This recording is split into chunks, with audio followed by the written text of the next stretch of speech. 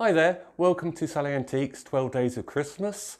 Uh, talking quickly about silverware, which we've got quite a few cabinets full of. Some of them behind me, got lovely ranges of uh, tea sets, napkin rings. There's a cute little miniature model of HMS Victory there. Inkwells, perfume bottles, they're always very popular at Christmas. And something would look lovely on your Christmas table. Nice little range of uh, candlesticks down there. There's plenty more other items, spoons, cigarette boxes. Um, we've got some lovely shakers, photo frames, so come in, pop by.